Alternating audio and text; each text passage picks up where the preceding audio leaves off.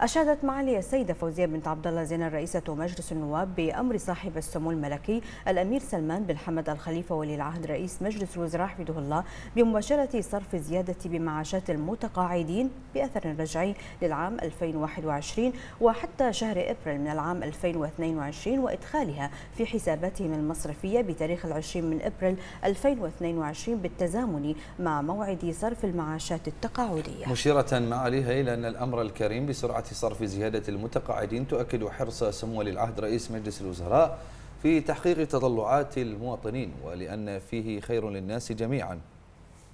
واستجابة لمطالب السادة النواب وتعزيزا للتعاون المثمر والفاعل بين السلطة التشريعية والسلطة التنفيذية لخدمة المواطنين وذلك تنفيذا للتوجيهات الملكية السامية من لدن حضرة صاحب الجلالة عاهل البلاد المفدى حفظه الله ورعاه. وأوضحت معاليها أن حرص سمو العهد رئيس مجلس الوزراء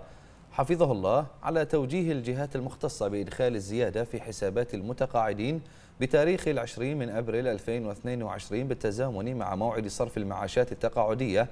ومع اقتراب عيد الفطر السعيد من شأنه زيادة الفرحة للمواطنين وتأكيد الاهتمام بالمتقاعدين واستدامة الصناديق التقاعدية بما يحقق رفعة الوطن ومصلحة المواطنين معربة عن بالغ الشكر والتقدير لجهود معالي الشيخ سلمان بن خليفة الخليفة وزير المالية والاقتصاد الوطني وكافة أعضاء مجلسي الشورى والنواب لمواصلة العمل الثنائي تحقيقا للتطلعات المشتركة والوصول إلى استدامة الصناديق وضمان حقوق المتقاعدين والمشتركين.